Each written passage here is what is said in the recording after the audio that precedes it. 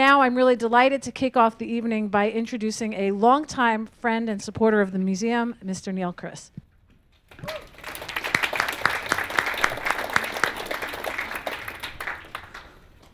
Good evening. Every good speaker needs a good introduction, so that's my job here, and I'll take approximately five minutes of your time. So, first of all, I want to thank the Museum of Math, the Simons Foundation, and uh, uh, one of their support, uh, board members, Manju Bhargava, who invited me to give this introduction. And uh, thank you to the museum for organizing these talks. Uh, my name is Neil Chriss. I was asked to give a brief introduction to today's talk. Uh, you can see the title there Space Time and the Fourth Dimension uh, by our very distinguished speaker, Robbert Dijkgraaf. I think you're in for a real treat. In fact, I know because I sat through the first uh, talk this afternoon. Um, because you know, not only it is a terrific topic, uh, but it's being discussed by an equally terrific speaker. Uh, Robbert is eminently qualified to give this speech for several reasons. Number one, he is a mathematical physicist and talks about the geometry of space-time, which is a very mathematical and physicsy uh, topic. It's about deep questions in physics, the Big Bang theory, black holes, quantum mechanics, and so on. And he will be covering all those things. Number two, Robbert is and has been the director of the Institute for Advanced Study, an academic institution uh, right over in Princeton, New Jersey, uh, which traces its lineage uh, back to 1930 when Albert Einstein, who is uh, a major figure in uh, this talk, was one of the first professors. Robbert leads this prestigious organization, and it has four schools mathematics, natural sciences, where physics takes place, historical studies, and social sciences. And he is not just the director, by the way, but he's also the Leon Levy Professor of the Institute. Further, as a mathematical physicist, he made significant contributions to the field of string theory. So you can trust whatever he's going to tell you tonight. In fact, as an aside, a little about me, IAS is where I uh, met Robbert. I've been a trustee at the Institute since 2011, and back then I was a member back uh, in 1994, I was a member of the School of Mathematics uh, when I was actually an academic mathematician, uh, which I think is how I secured this gig tonight. Uh, lastly, the third and final reason Robbert is such a qualified person to deliver this speech is his enormous, almost second career as an expositor of science, author of popular books about science, and television personality, so far as I know. Uh, Robbert is actually considered no less than the voice of science in his native Netherlands, where, by the way, he was president of the Royal Netherlands Academy of Arts and Sciences from 2008 to 2011 before he joined the Institute for Advanced Study. And in uh, doing a little preparatory research for this talk, I recently discovered uh, the depths of his fame when I uh, learned that there is a website called robbertdijkgraaf.com, which lists various books and speeches that he gave, including a Dutch book called De Junior Beta Canon, which means in English, the Junior Beta Canon. And uh, honestly, I tried to find a, a, different translation, and that's what it is. But, but I think this is funny, and then sadly, it's less funny because it actually turns out Robbert has an explanation, which I'll let him tell you. But the website has this to say about uh, that book and it really actually sets the, sets the stage quite nicely for nice, tonight's talk. The uh, blurb about the book, uh, which may have been translated from the original Dutch, uh, says Dutch famous scientist Robbert Dijkgraaf discusses in his junior Canon, in an original and accessible way the main topics of science, like why the toilet for humans is such an important discovery, or who was Newton, and what is the Big Bang. So, those three important questions toilets, Newton, Big Bang. So, uh, with that, I'm going to turn it over to Robbert, and I hopefully he will discuss these topics gracefully uh, as best he can. Thank you. thank you, uh, Neil, and thank all of you for being here and uh, spending uh, the evening with uh, math and, and complicated matters in physics and the universe, coming back to that story, uh, in fact, it was an, uh, a book for children where we had 50 topics that everybody in science should know. And we had great fun that our first topic was zero, because that's where all mathematics began. But then there was actually an, uh, that year there was a, a, a, big debate among biomedical researchers. What was the biggest invention ever to save lives? And the conclusion, by far, number one was the toilet.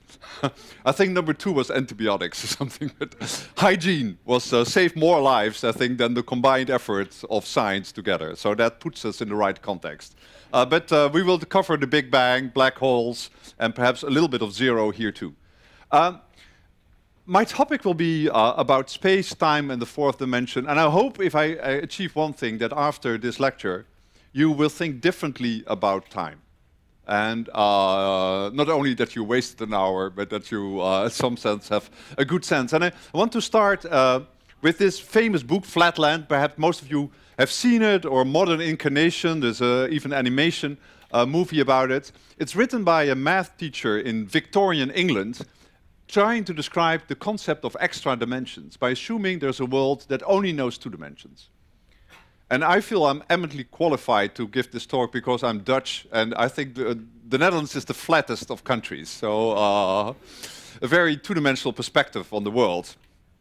Uh, it's interesting for many respects also because it gives you an insight not only in mathematics but how Victorian England was work works. And it's a very hierarchical society. Most flatlanders are triangles, and you're, if you're a polygon, the number of edges gives you rank as society. So uh, you can be a square. I see many pentagons here in the room. Uh, and the highest order is if you're a priest. And then you have an infinite number of vertices. So you're the circle. But the remarkable thing is he also described there are two gons, which are line segments. So even if you look from the wrong perspective, you wouldn't even see them. And these are the women in flatland society. So uh, you see, there was still a lot of to be gained. So there's the men's door, there's the women's door. Uh, Abbott has great fun using these kind of uh, exploring these gender inequalities. Uh, but there is something uh, that happens in flatland where uh, certainly things can appear in the middle of the room. And they don't go to any door, neither the men's nor the women's door, and come and disappear and create great turmoil in Flatland. And this thing they call the sphere. And you probably understand what it is. There's a third dimension. So sometimes the sphere comes from the third direction, which is totally oblivious to flatlanders. Now, I think once a, uh, a biologist told me that uh, ants they only have a sense of two dimensions. So whenever you hit an ant, it probably will come from a dimension that the ant isn't aware of. They only have a two-dimensional sense of space.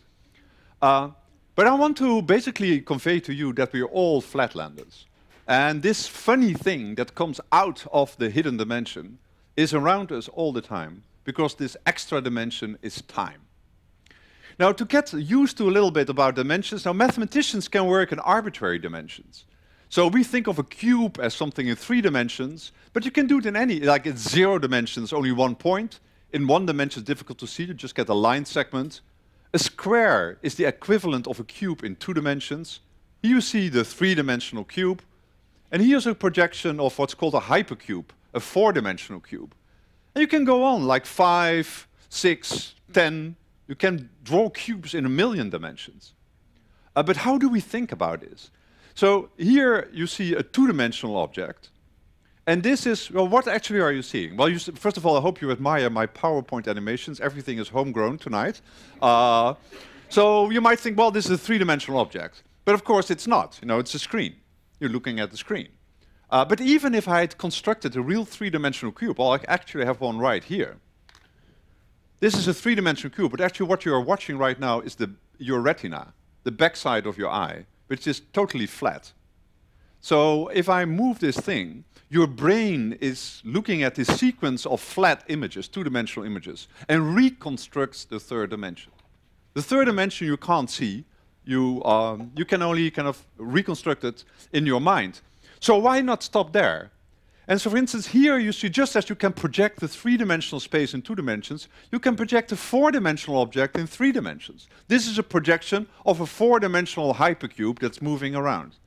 Now, I had a colleague, a biophysicist at NYU, that for a full year looked and manipulated these four-dimensional images in the hope that his brain would catch up and that he would see the fourth dimension. Now, I'm looking for volunteers because one year was not enough. Nothing kind of clicked. Uh, but it's, you know, I, I hate to suggest, but perhaps you know we have to have children that grow up in fourth dimensions, and you know, in some sense, might, you might able to see. My favorite story is the famous mathematician Bill Thurston once gave a talk. He was one of the few people who could think in higher dimensions. He gave a talk about mathematics in four dimensions, and there was an audience like this, all professional mathematicians, and he was moving around, and nobody could follow him. And at some point, there were all these blank stares, and then Thurston looked into the audience. Oh, oh, this is clearly not the right way to present the material. You shouldn't think of this in four dimensions. You should do it in five dimensions, where it all became simple. So only very few, I think, uh, can actually get some intuition. But I will try to explain that we do have an intuition for the fourth dimension, but it's uh, in some sense not connected to space, but to time.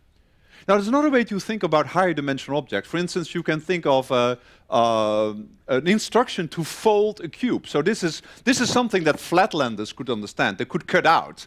But when you say the flatlanders connect, glue all the edges together, they would like look at you, well, that's clearly impossible. Right? But then in three dimensions you could do this. This is the analogous of this kind of construction package for a hypercube. So you can take this object here, and if you are told to glue these ends together, you cannot in three dimensions, but in four dimensions you can do, you get a perfectly symmetrical object. So this is one way to think about the hypercube. Uh, some of you know perhaps from a famous painting by Salvador Dali, that's very popular in the 1970s. I think many had this, uh, many students had this poster, uh, a mathematical poster. So in fact, there's something I just as a little aside I want to tell you. Mathematicians can work in arbitrary dimensions, but if you would plot the difficulty of doing math as a function of the dimension, it looks something like this. Like dimension one and two are very simple, three and four are complicated, and then in some funny way, if you go beyond dimension four, things become simpler again. That is to say, there are lots of uh, mathematical results that were first proven for dimensions 5 and higher. I don't want to go into the technicalities, but there's a thing called the Poincare conjecture, which was some way to see whether a space has no holes, is essentially a sphere, which was first proven uh, by Stefan Smale for dimension 5 and higher, and then dimension 3 and 4 took a long time. Uh, actually, the proof in dimension 3 was only in the 2000s by Gregory Perelman, and it's, you know, it was a fascinating story. But again, it shows that uh, Space 3 and 4 are special dimensions from a mathematical point of view. If you ask mathematicians why 4 is special, they would say, well, if you have a surface and you would have a surface kind of in moving in four dimensions, because of the equations 2 plus 2 is 4, it could self-intersect. So there could be a way, just if you draw a curve on a plane, and you can have an intersection, the same way if a surface is moving in four dimensions. And if I have time, I will say something that there are some physical theories that point out that perhaps this is the reason why we live in four dimensions. And why we live in four dimensions will become clear in a moment. Another thing uh, that you get used to, this is a knot. Knots are lines, uh, actually circles, embedded in three-dimensional space. It's interesting to see whether you can unknot a knot or not. Uh, or not. But actually this only works in three dimensions. So if you see what is the problem uh, in untying a knot is that you have two strands, like the red one and the green one, and you want, this is just a slice through the knot, and you want basically pull the strand through one to the other. And you, this you cannot do because you're not allowed to break the line. If, however, you have an extra dimension, say a fourth dimension, you could just kind of hop over. Right? It's the same like in flatlanders, they would have borders. But if you are a three-dimensional pers person, you could like fly over the border. You wouldn't, wouldn't be bothered by any walls in a two-dimensional sense. So dimension three and four are special. There's one more reason I want to point out why three and four are special. These are the so-called Platonic solids. I have a few here.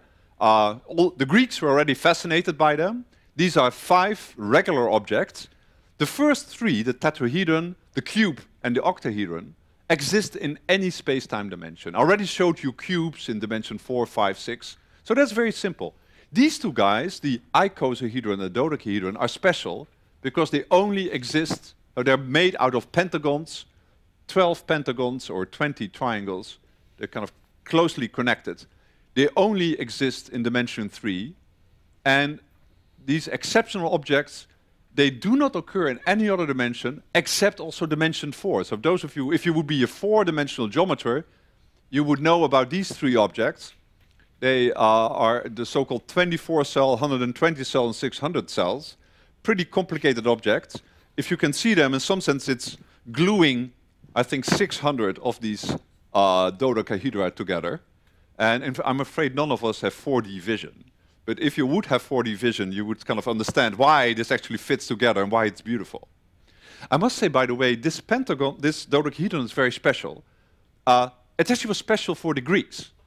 So Plato writes down what I like to joke about his, his theory, his standard model of elementary particles. So the Greeks knew there were four elements, earth, fire, water, and air.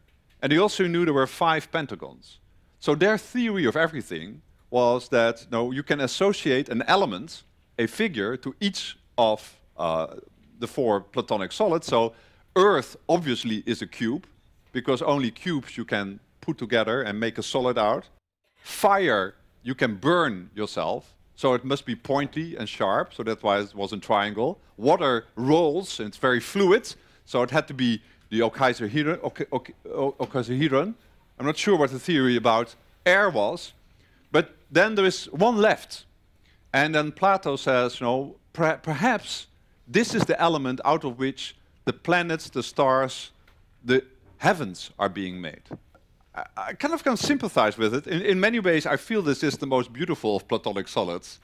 Uh, I once was, uh, was a photographer who picked this one. I said, why did you pick this one? He said, well, it's complicated, but not too complicated. which is a good capture of mathematical beauty, I think. Uh, so it's interesting if you uh, follow art history, you see this, uh, this fifth element, quintessence, which is symbol for a metaphysical symbol, a symbol for astrology in many different paintings. And in fact, I want to show you this. This is the old parliamentary hall in the Netherlands, in The Hague. And it has these beautiful uh, dodecahedra as kind of light fixtures. And so when this was opened, and there's an artist who made this, and there's a lot of vibrations, resonances with you know, thousands of years of history, there was a commentary in the Dutch newspaper saying it was very inappropriate to have this beautiful hall and then have two soccer balls to. Uh so uh, we have to revive uh, that uh, that thing. But um, so much about dimension three and four, and now I want to kind of bring in time. So I will start with space. Certainly, I think you know in the old days. So I will come in a moment in more complicated uh, ways to think about space. But space essentially was seen as the stage on which physical objects move and behave. And Euclidean space is rigid, it's infinite, it's flat, it's this kind of perfect frame where things can happen. Similarly, time, in Newton's words, is true and mathematical and absolute. So time is the big kind of conductor that makes sure that all physical phenomena happen, uh, you know, in a coordinated fashion. As it said, you know, the famous line, time was invented to prevent everything happening at the same time. uh, and then, of course, there's the famous uh, uh, remark or insight from Albert Einstein that actually time should be seen as the fourth dimension. So in fact, actually, it's not Einstein's insight. It came from a great German mathematician, Hermann Minkowski. In fact, there's a very nice relation of Einstein to Minkowski. Einstein was a very bad student in, uh, uh, in Zurich. Not bad in the sense that he wasn't smart, but he was always fighting the professors, etc. And he writes, there's one professor he admires, which is Minkowski. But he's a brilliant mathematician, but Einstein then says, I do not have time to attend his lectures because I have more important things to do. so uh, it's only after he announces his theory, and actually after a few years, that he gets convinced that Minkowski's point of view, that four dimensions is the way to think about space and time, is the right way. But I want to actually try to explain that to you, and I want to take again the perspective of flatlanders. So if there's a flatland Einstein, he would be saying, flatlanders, there is a third dimension, and that's called time, right? So we, we only have two space dimensions for a moment. And right now you are looking at a movie, and it's a movie of two, say, two particles rotating around each other. Now, you're not actually looking at a movie. What you're looking at, what you're actually always looking at if you see any movie, is a sequence of images. But they go very fast. So just as your brain imagines the third dimension, so your brain also imagines time, right? Because you think it's a continuous movement. Uh, it isn't. You, know, you have snapshots and you glue them together by kind of interpolating in your mind. So now what I want you to do is think of this, this motion in time, as a sequence of images, and think of the separate images not one after the other, but one on top of the other. So we're going to stack them. What you see here on the left.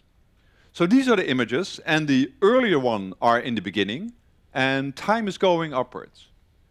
So an images, is, uh, I often think about if you, uh, you know, you have your holiday pictures and you print them out, there will be, you get a stack of prints, and it will be in chronological order.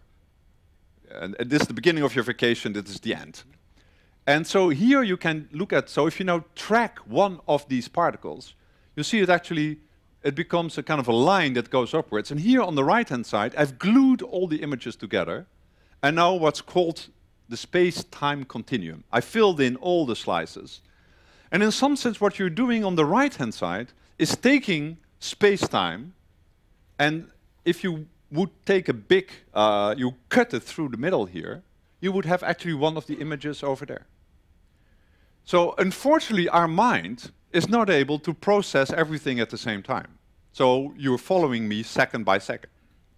In fact, you should realize that even if you're sitting perfectly still, you're moving in space-time. You can't stop time. I can stop my motion, so this hand is not moving in space now, but it's moving in time. In fact, with a rate of one second per second, you can't prevent that. So we are all moving in time now. But in some sense, we don't realize it because we always think in the present, and we, so we're always in one of these time slices. But I slowly want you to think about of all these slices together, kind of a holistic view of a part of your history. So I love this thing, uh, but actually turns out this Museum of Mathematics is so terrific. It has a time slicer here. So uh, it's over here. So I want to kind of use it for a brief moment. Uh, so I showed you, uh, so this could be uh, uh, a, a, trajectory in time, but so this would be kind of looking at it in space. So, you know, you would have just, so it would be a circle. Time is now flowing in this direction. I'm moving it through time. Uh, this would actually be quite radical because at some point, you know, it would, what would it do? Well, it would shrink and it would disappear. I can do other things. Actually, this is beautiful thing over here. So this is a, a complicated version of the image you see here on the right-hand side. This has two of these spaghetti strands. Remember, these are two particles orbiting. So it would be like the Earth and the Moon. This would be three of these objects. And you know, perhaps you can see what's happening if I move it through.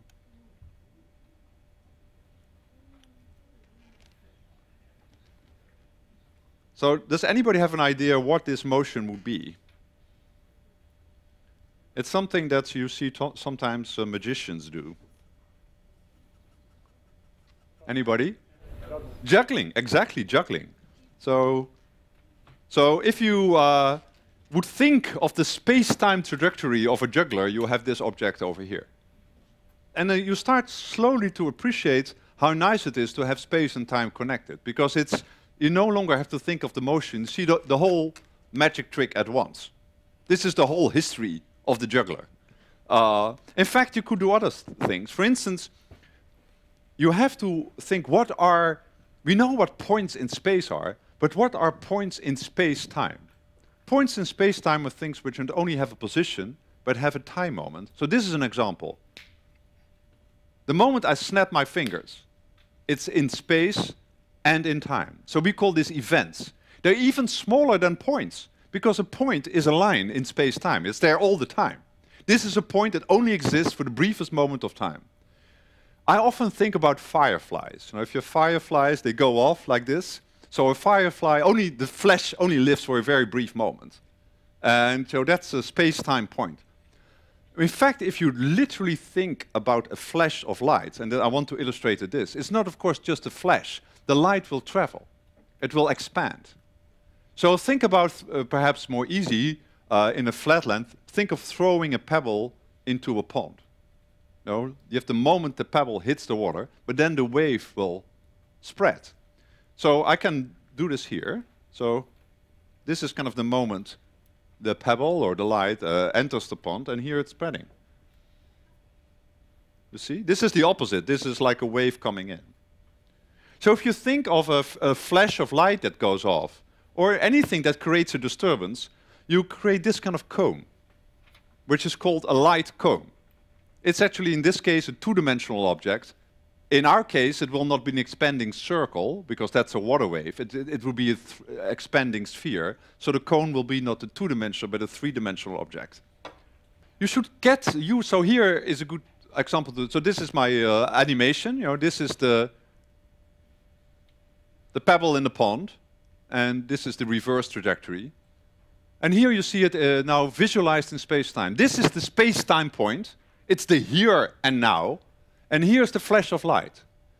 Now, the remarkable thing is that anything, light is the fastest moving object in physics. So anything that is hit or in some sense causally connected to this moment, anything that can happen as a result of that flash happens inside this cone. Because if you like, if you're standing still, you go straight. If you go under light in this image, you go under 45 degrees. So the inside of the cone is what physicists call the future. When I first saw this, it was quite exciting because I never had a picture of the future. But you really can see this. In the same way, you can think of the past. The past is anything that happened and influences the here and now. So I have a past. In fact, it goes all the way to the Big Bang. You know, it is a gigantic light cone. And have a future. And we have different uh, light cones. Yours, you might sitting just next to me, so you have a slightly different. Uh, and it's this huge space outside the light cone, which is like not no causal relation. Uh, one of the great uh, figures to have at the Institute for Advanced Studies, Freeman Dyson, a great physicist. He's now 95, but he remembers reading a book when he, I think, was six or seven about general relativity, about relativity, Einstein's theory, and reading about the future and the past, and this, what was called the absolute elsewhere. And there is a wonderful cartoon in one of the uh, magazines at that time uh, that I think was conveyed by his father, because his father asked him, Freeman, do you know where your sister is? And, he and his answer was, she is in the absolute elsewhere. So that was a, is a brilliant cartoon, I think, in the in the magazine Punch, where uh, very very very smart uh, young boy. But so it's it's interesting that most of space time is in the absolute elsewhere. These are space time points that you cannot influence. For instance, right now something is happening, you know, in the, in Beijing there's no way what we do now can influence Beijing because at least the time that light has to take to travel there, which is you know a tenth of a second or something. In fact, if you look at the sun, you know you look at something that is eight minutes ago. So something happening at the sun right now is in the absolute elsewhere compared to us. So you have to start thinking about these space-time pictures. I want to just to test your understanding, and I have this machine where I go to manual mode so I draw on this figure. So time is flowing upwards. Uh, does anybody have any idea what this could be? It's a representation of something. Any, any, anybody, any idea? The Big Bang. The Big Bang. close, close. Something a little bit more everyday, perhaps. Yes? A hand. A hand. No, that's, no, think about this as time. So you should think of this as a sequence of events. So there is one thing, it's nothing's happening, nothing happening, and suddenly a lot of parts are flying outwards. Fireworks, yes, exactly. That was what I was thinking. Explosion, whatever. So Big Bang is fine, but there's, uh, there's also something before the Big Bang here. Yeah. Uh, just another one. So again, think of this as moving upward in time. So suppose the two black lines are two people. And they're doing something. What are they doing? Dancing uh. Yeah, yeah, exactly. They well, one throws something to the else, or, or yeah. So this could be. Uh, uh, I was thinking about a tennis match, but it could also be just throwing a ball, right? So there's here person A throws a ball, here goes the ball, then they shoot off. So it's like, or it could be ping pong or anything. So you can actually draw anything in terms of these space-time diagrams, and I think it's important to emphasize that for physicists, they often think in these kind of uh, space-time diagrams, and what's kind of special about it, it like captures all of history at once. Now there's something much more spectacular because right now I've made you think about space-time, but you know it feels like a pre-sliced uh, loaf of bread, right? You still have these slices, which are space, and then time is which slice are you. But Einstein said actually it's not sliced. It's just really one thing. You can actually do rotations, you can do funny stuff, mixing space and time. In fact, you can slice it in many different ways. For instance, this is a, so here the red and the green are two events. So it could be me clicking my hands like this. So these are simultaneous moments happening in one time slice. But if you have an alternative view of the world and you slice things under a certain angle, so you can ask, you, is this allowed? What does it mean? In fact, it turns out that if you move through space with a certain speed, you're still slicing, but you're slicing at a, a, small angle. Now the red and the green are different because you see the green, which is this one, happens first, and the red happens after that. So the idea of happening at the same time doesn't make sense anymore. In the same way, you have two points in the plane, and I say, well, are they on the same line? Well, you can always draw a line to two points. Uh, a, a, space doesn't come pre-sliced. And Einstein's big insight was that space-time is also not pre-sliced. In fact, you can slice it any way you want. These are nice slices that uh, belong to uniform motion, but if you move like crazy, then actually the slicing is uh, very crazy too. You can do geometry in this space-time. So you could give a course in space-time geometry just as the Greeks studied three-dimensional, two-dimensional geometry. So you all know Pythagoras' theorem, a squared by b squared is secret, if you have a triangle. In this new math, which is called Lorentzian after Hendrik Lorentz, who was a Dutch physicist, great Dutch physicist who predated Einstein. Uh, I always think you know, Einstein is the greatest physicist, most people think, certainly in modern times. But I always like to ask the question, who did Einstein think was the greatest scientist? And he had a very definite answer, was Hendrik Lorentz. Uh, and he wrote many of the equations that Einstein used without daring to give the physical interpretation. So Lorentz worked with space-time, but never dared to mix space and time as Einstein did. So in this new geometry, you still can draw triangles. You can compute the length of A, B, and C. Uh, in fact, you don't get a squared plus b squared is c squared. You get a squared minus b squared is c squared. So it's a very different kind of math. It has strange consequences. For instance, one thing we all know, if there are two points and you want to go from one point A to B, the shortest path is a straight line. So the dotted line takes you longer. It's a longer path than the straight line. In space-time, it's exactly the opposite. If you have two events, say this one, and this one, they can be connected. They can be connected by my hand, you know, it's standing still. But you could do something more complicated. You could go in a rocket, you know, move away to some outer galaxy and hurry back just in time for the second click. Would be a very complicated path.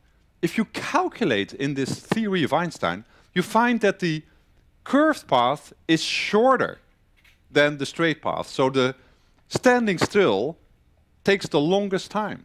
So most of you might have heard about the twin paradox. The twin paradox is like these two twins.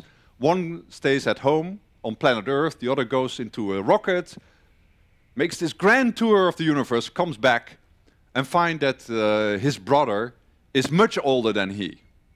Uh, in fact, that experiment has been done. They put two clocks, one on planet Earth, the other in a Boeing, that went around the world, I think, for a few years, and then checked the two clocks. And in the clock in the airplane was a few nanoseconds younger than the one that stayed in the airport. So that's the kind of bizarre math that you get if you go in this four-dimensional. But the important thing is it's there. You can study it, and it's kind of fascinating. Uh, But I now want to get you to where it really gets excited. If you take this theory about space and time and combine it with something else, quantum theory, which is the theory for of the small, smallest particles. And uh, and in fact, you know, quantum world is very different from the classical world. One way to put this is that in the quantum world, many things are uncertain. Basically, in the quantum world, anything can happen. However, however crazy it is, but with very, very small probabilities. Uh, this was uh, carried home a few years ago when perhaps you remember they switched on the Large Hadron Collider, this big particle accelerator in CERN. And then there was a message in the newspapers, well, perhaps they create a black hole that would destroy the Earth and the universe. And they asked one of my colleagues, you know, uh, can this happen? He says, yes, but with a very small probability, you know. and he meant like 10 to the minus 100 or something, you know. Uh, but uh, then people all got excited, you know, and the world will disappear. And many, uh, I still have the uh, newspaper with the headline, Will the World Disappear Tomorrow? Just the fact that you still have that newspaper is very good. Uh, but so the thing is that you should now start to loosen up a bit and not only think of straight lines and fixed lines in space-time, but think about many different ways in which particles or even you can are moving in space-time. You don't realize there's a small probability.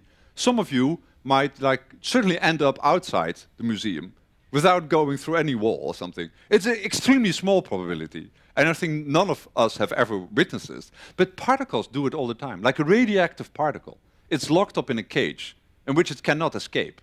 Yet, you know, once every while, some escapes against the laws of physics, just goes through the wall. So these things do happen if you are an elementary particle. So I actually want to illustrate how the two things are merged together by asking a question, which I think is a very deep question that perhaps some of you have never thought about it. The question is, if you learn in a physics course, say the mass of the electron, say, well, there's this and this number, why are you only giving one number while there are so many different electrons? Isn't like, could one be a little bit more heavier or you know, uh, lighter? Perhaps there are electrons that, you know, are very old, have lots of scratches, they have eroded. You know, why, why is there a whole range? You know, it would be very strange to learn the weight of a human being, you know, as one universal number. So, is there a factory that builds elementary particles, and is it like the perfect factory? How does this work? Uh, so the nice thing is an answer to this, and the answer came in a wonderful episode. Again, this is Richard Feynman. Feynman was a graduate student in the early 1940s in Princeton, and John Wheeler, famous physicist, was his advisor. Wheeler invented the term black hole. He worked with Niels Bohr in quantum mechanics. He worked on the hydrogen bomb. He's uh, uh, basically inventor of many issues in gravitational physics. And Feynman, actually, when he got the Nobel Prize, you have to give a lecture, and in that lecture, he describes the incident. He says, get a call middle of the night, Saturday night, very late at night, his advisors on the telephone, kind of dubious situation, uh, and says, Richard, you know, have you ever thought why all the electrons are the same? I know the answer. There is only one electron in the universe. So this is his theory. You are now accustomed to space-time. If I put an electron here, it will go up straight like this, like you are doing. You're moving in space-time now. Wheeler had the following idea.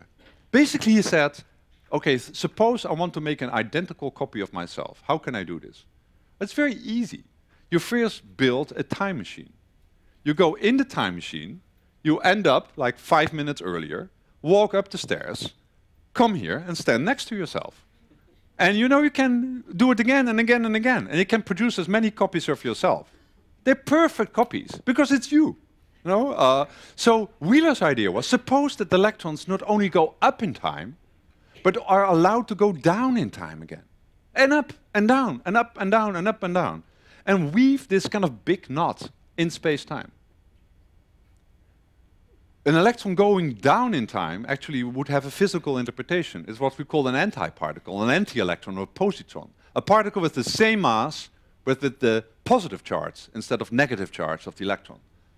Uh, if you would have this diagram, and you think of it as a, you, I put my kind of big space-time slicer here, and put this whole knot through the slicer.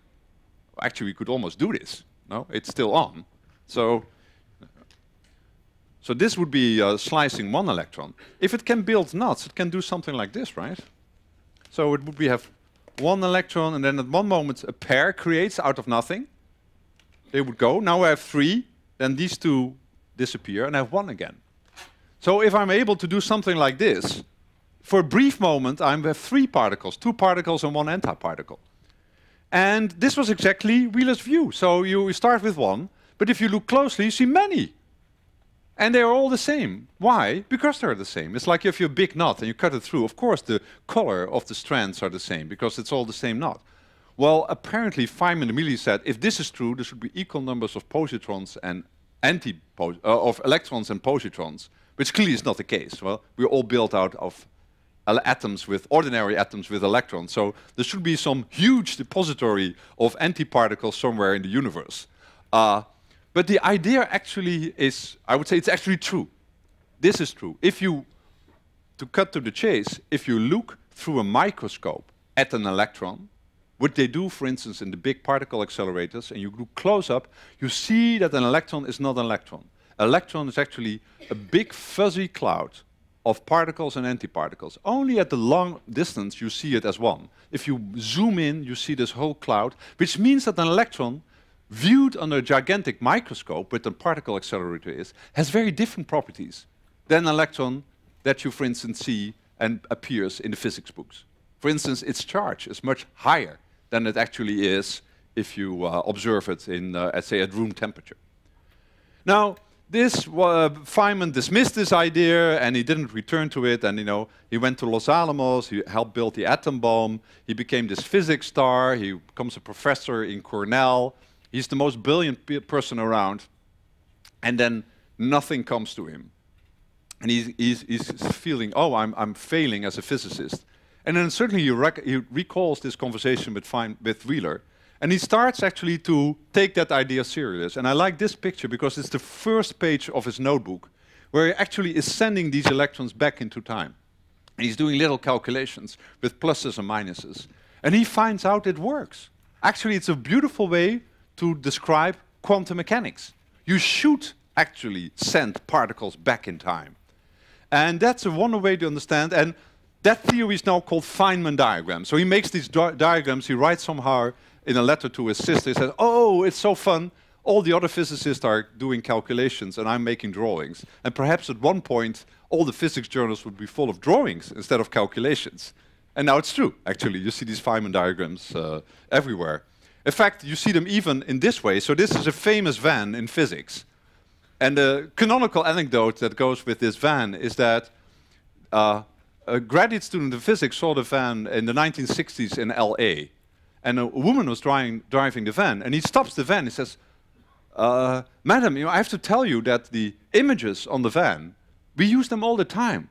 They actually are physics diagrams. And we call them Feynman diagrams. And then she says, Yes, I know, I'm Mrs. Feynman. and here's Richard Feynman and his uh, wife and children with the Feynman uh, van. Actually, Feynman van has been lovingly restored. Last year we had this uh, centenary of Feynman's uh, birth. Uh, here I'm with the van, and now I think it's bought by some museum. I, I hope. I mean, there was a, it was auctioned off, and so I hope it's. Uh, but it, it's, it's no, it's. I actually want to paint the institute van with these diagrams. Would be terrific. Uh, so we draw these things all the time. And this is the Feynman diagram I just uh, showed to you, the original one that we all see. And now I could ask you, what does this look, what does this stand for? But you already answered the uh, question. I showed you the, uh, say, think of the tennis match that you looked at. So I would say this looks like one tennis player hitting the ball or somebody throwing a ball from to another person, right? So in this case, it's not persons and tennis balls, it's two electrons that are exchanging a light particle. So the modern way to think about physics, physical interactions, electric magnetic interactions and forces is actually these electrons are, it's like a laser game. You know, they're shooting laser pulses. They're shooting electron, uh, electrons are shooting photons. And uh, this is a very visual way to think about a repelling force, right? Because there's a backlash when you shoot off your gun, and then there's a recoil on the other side when you catches the uh, electron. Now, um, one little exercise, perhaps somebody has an idea. Uh, if this is a repellent force, what would be an attractive force? Can, can you make an attractive force? You know, so you should be pulled to together by... Has anybody an idea? Yes? Instead of shooting, like, from electron to electron, you Yeah. make electron to a positron. Ah, you think something with antiparticles. No, two electrons. But you, you're getting close. So uh, you should think in terms of space and time. So you know, it would be terrific if you, no, you think about this person should first get a, a, a push. Uh, so it would be terrific if you can first catch the ball and then throw the ball. This seems very illogical to do. But remember, we can play with time, etc. So you can have this process here, where in some sense the particle is, uh, you know, uh, you throw it in some sense in, in one direction and you, you catch it in the other.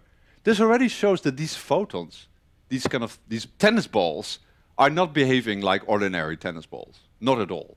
And the technical term of this, it's virtual particles. So if you ever see these diagrams, you try to take them completely seriously. You cannot, in the sense that these intermediate objects, the balls that they throw, particles throw, do not really exist. They exist in the physical interpretation, but you can never measure them.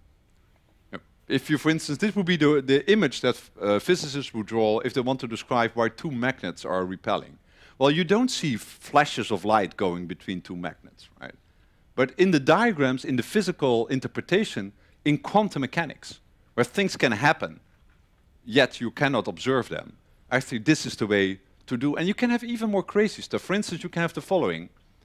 Anybody idea what this process would mean? So I again invite you, this is the electron, to think of this as a sequence in time. What would this be? Think of the explosion that we've seen. I was thinking of a river that bends and around something and then joins again. But it's, it's not, so it's not in space, it's in time, right? So here we have one particle, here we have two. So it's a process where a particle would kind of split in two, and then the two would combine again and go back, go through as one. So all of these things happen, and you know you can even have more crazy. So this would be a brief moment where uh, a particle uh, slightly behaves slightly different. It splits in a particle and antiparticle and goes through. All these processes can happen, and in fact, you can measure them.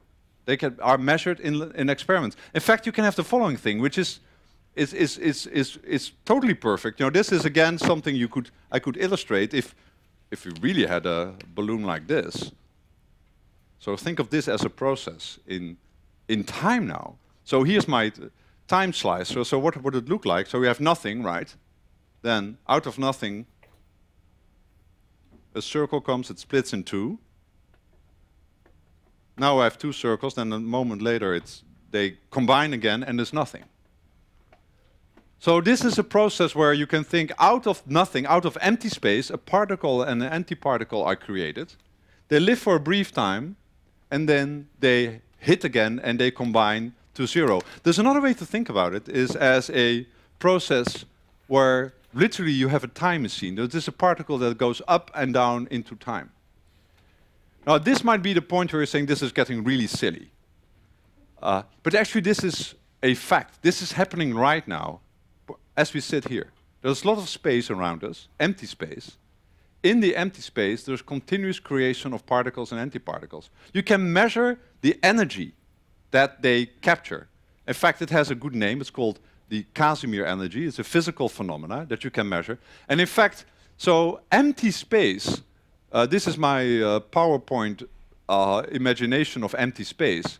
It's just like this bubbling uh, pot of particles and antiparticles that continuously being created and disappearing again. And it's a nice quote by the physicist Murray Gell-Mann that says in quantum mechanics, everything that's allowed is obligatory. So anything that can happen does happen with a small probability. So thinking about this, you only can think about this if you have the space-time picture. So it's absolutely crucial for it. Now, in the remaining minutes, I want to say a few words about uh, the next step, which is uh, introducing gravity and thinking about what happens if uh, you think about space-time in an even more general way. And we have to go back to Einstein, and now we'll be talking about Einstein's general theory of relativity, which is much more complicated. Uh, so you all know the equations equals mc squared. This is his equation for the general theory of relativity. It's not that famous. I wish it was. I try to be an, an advocate for this equation, but it's like, I think, a little bit too much. But you can think of it as in terms of a slogan. And the slogan is that on the left-hand side is space, or actually space-time. On the right-hand side is mass. And one way to think about it, that the two things are being combined. And so what literally happens, so this is again a piece of flatland. And think now of flatland as not made out of a rigid material, but flatland being made out of rubber. So the flatlanders do no, don't notice that their country has suddenly become so flexible. But it has enormous consequences because if you put something in flatland, it actually reacts to it because since it's no rubber, it will kind of curve around. So the flatlanders are now moving, they're still living in two dimensions, but now living on a mountain landscape. And they see funny things. For instance, if they want to go straight, what does it mean to go straight? Well, you, uh, if you would roll a ball, it would start to curve around. So motion would be much more complicated in this.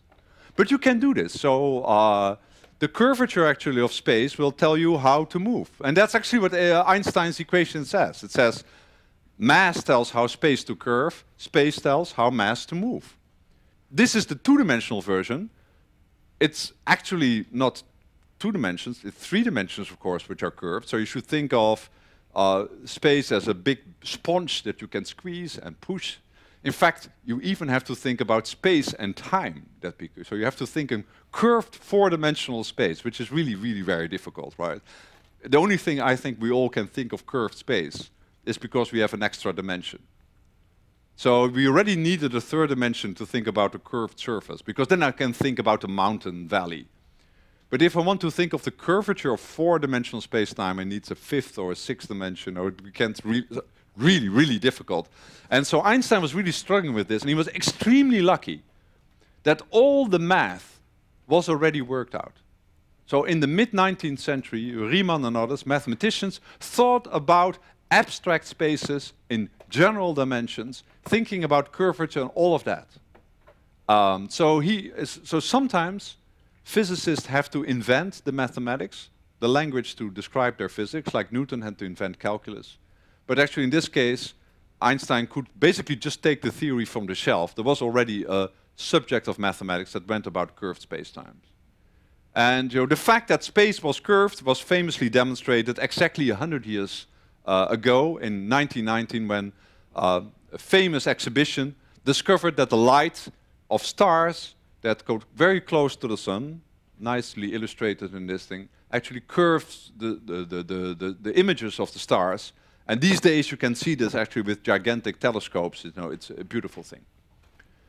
And of course, you know, Einstein now was able to do something which is you know, even more complicated than thinking just of space and time. He could actually think about the movement of space itself. So he could calculate you know, the uh, the movement of the universe and, you know, famously discovered the, uh, the expanding universe. Now, there's a lot of it said to be said about how we dealt with that. You know, Einstein didn't really like the idea of an expanding universe. He, he, hated the idea of a Big Bang, and the, in fact, it was real uh, was astronomers actually who discovered uh, experimentally that the universe was expanding. And now nowadays, nowadays we know this. You know, we can we have these beautiful images where you actually can see the remnants of the Big Bang. So this is a very early baby picture of the universe. And you have this great animation where you just see how boost up the Big Bang. Yes, there it goes. So this is 14 billion years of cosmic evolution, I think in 20 seconds. So these are kind of the time slices of the universe. And you see slowly, you know, the universe, the early stars, you see the galaxies, you see the, the universe forming. And uh, in some sense, again, as I said, you know, we astronomers too, they think of the universe not only as a series of moments, but they think of the full space-time history. In this picture, time is running from the left to right, so this is very early after the Big Bang, and here's a whole series of slices. This is the whole evolution, the whole history of the universe as a big chunk of space-time. In fact, uh, if you think again about the here and now, and I said, you know, thinking about your past, if you think of the, the past, say, of this moment right now in this lecture, and you go all the way back, you will see in some sense, you know, there's some part of the universe that actually has been influencing this. And uh, that's, you know, as far in some sense as you can see to the very beginning.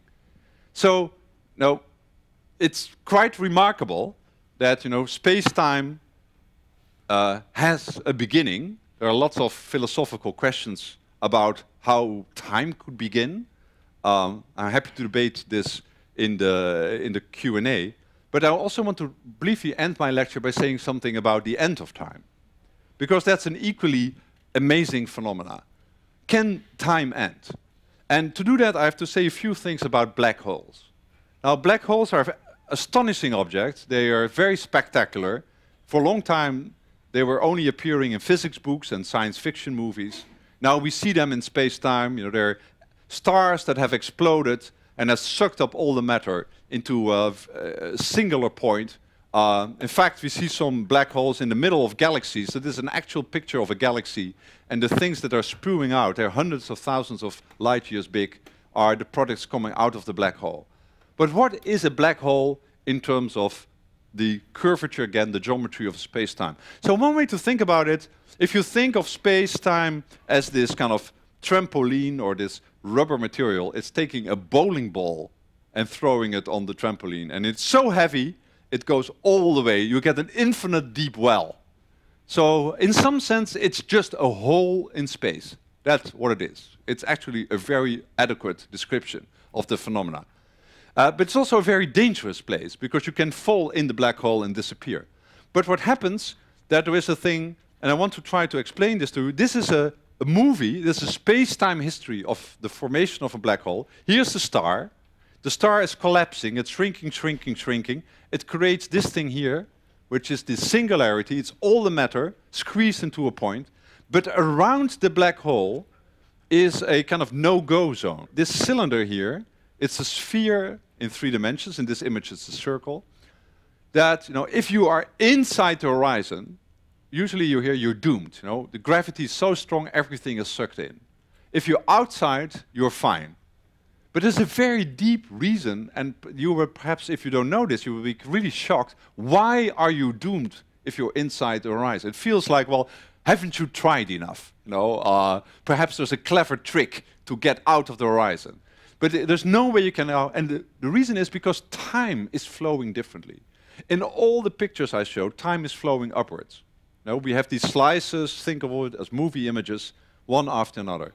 In a black hole, the arrow of time switches when you go into the horizon. So time is moving inwards. So that's actually quite uh, amazing, right? Because if you, okay, I can draw a circle here, I can say like it's one meter from me to the center of the, in, in a black hole, there's like one minute inside the black hole. You just have a finite amount of time. You know, whatever you do, you're doomed because, you know, there will be an end. It's like you're watching a movie, so there's one minute to go. You know, there will be dramatic end. Or at least there will be an end title, you know. The movie will be finished. Time really stops here in the middle. It's an amazing consequence of Einstein's theory. It's again something that he really objected to, because what, what does it mean even to, for time to end?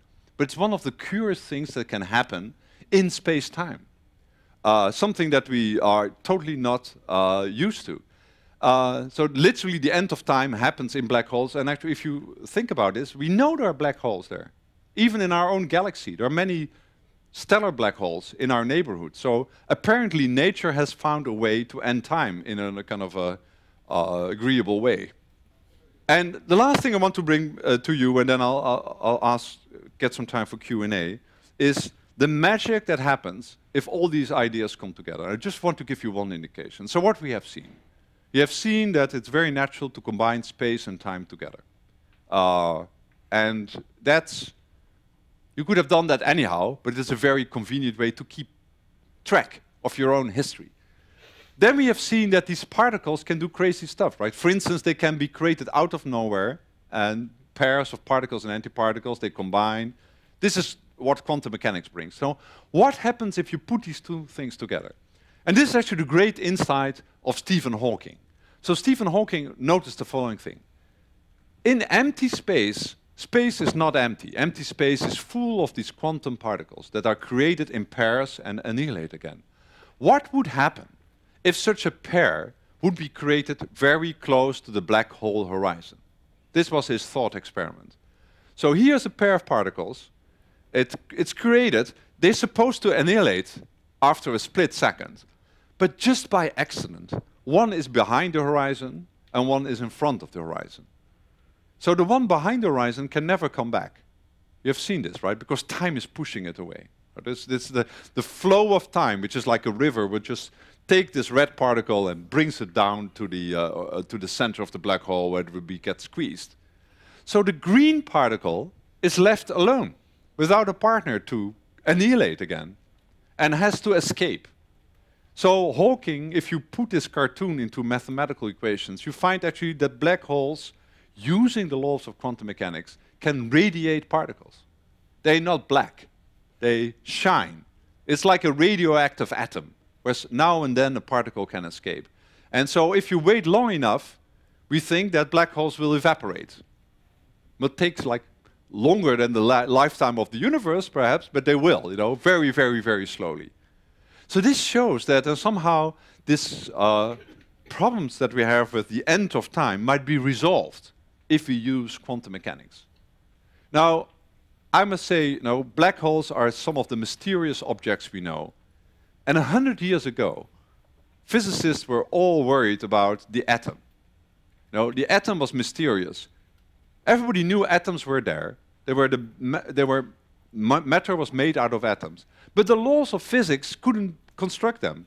They would actually uh, not behave, yet they are there. So nature found a way around. Well, it took us literally 100 years to fully understand how quantum particles behave. If you think about black holes, on the one hand, from a quantum mechanical point of view, they're extremely complicated, but from a geometrical point of view, they're just a hole in space. So in some sense, these two laws of physics have to start talking to each other. And I think that's what that's you know, somehow the struggle of modern physics. We're not to the end of the story. I think actually many of us feel that you know, in the end, the, the one thing that you might think is universal and will be there forever, space and time.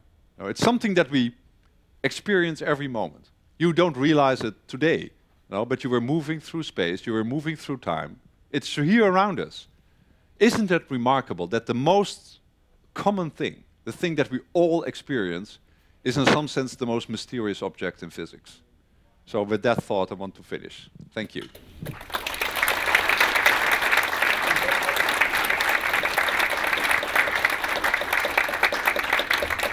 All right, if anybody has any questions, you can raise your hand. Um, I have a question about what seems to be a paradox in the black hole uh, description that you gave. A black hole does exist in time. Yes. It exists. But then you said in the center of the black hole, time stops. Yes. So that I can't resolve that. Can you explain that? Yes. So the thing is, so if you think about what is a black hole, so we, I drawn this image here, right? So if you think about, so this is uh, not, this is the, uh, the horizon of the black hole. So that clearly exists. So it's, uh, you know, there's the sphere around the singularity. It's the most you will ever see of the black hole. There's something inside that horizon. We don't know exactly what happens. So time stops inside. But outside, it's flowing. So that's your paradox, right? Because you know, if you if I'm here, I'm I'm looking at this object, it's perfectly stable, it's out there. The moment I cross the horizon, then certainly time is flowing in the other direction and it's it stops after say a minute or two. So your paradox, how can time both stop and something be there permanently? It's because you are thinking, you're still thinking like Newton. You're thinking this one big universal time. There's a clock that's ticking and that's coordinating everything. It's much more complicated. It depends, you know, what you do, who you are. Time is changing in every in every part of space. So it's more like uh, instead of a big clock, you should think of as water running over a landscape. You know, some of it running to the left, to the right. So it's this flow of time is very uh, irregular. So it's a little bit like here is a little waterfall where the f- water is flowing inside. Well, here it's just continuing straight. So, So- uh, and I think all of us will be on the outside of the black hole. Uh, and it could be an unfortunate person who falls in, but the person who's actually here, the physicist doing the experiments here, has no way to communicate with us. So there are, you know, uh, and that's that's one of the uh, big insights of relativity theory that your experience of time is something very personal. Depends on where you are, where you're going, how you're moving. Um, so the permanence of the black hole is from the outside observer. I had a question about um, h- the Hawking radiation. You Yeah. brought. It makes sense to me that you know the particles can split and one goes in and one goes out. Yes. Um, but how does that lead to the evaporation of the black hole? Because it seems to me like mass is being added to the black hole. No. So the thing is, so these particles that are created, they are what I said, virtual particles. So they do not behave. They do not have to allow to obey the standard laws of physics, like conservation of energy. So if a particle is created out of nowhere, they can't have both positive energy. So one would typically have positive, the other would have negative. Usually they're both like totally weird. So that's why they have to annihilate again. If this particle actually wants to survive to infinity, it has to be a real particle, so with positive mass. Then by definition, this particle has negative mass. So a negative mass particle falls into the black hole, but somehow it doesn't add, it subtract mass. So if you're wondering what exactly is happening here, it looks all pretty dubious. But the great thing, it's all behind the horizon, right? So from the outside, we don't know exactly how the, the laws of physics manage this, but uh, we do know since positive mass escaped that negative mass has had to fall in. Yes, I would like to ask you a question. How does the concept of entropy, the uh, the ever increasing randomness in the universe, how does that affect the time space continuum? Ah, okay. So I would say that you know the um, it's a little bit related to the question of the arrow of time. So you, we, we have these slices. So you could ask, you know, uh, why is time going upwards? Even if you think of just classical physics, you have all the slices. It's pre-sliced bread, no, but it's not precise ordered. You know, you can why don't turn the whole universe upside down? You can. Know, the, the, the laws of physics and the microscopic laws of physics are such that you could, in principle, you know, read them in both directions.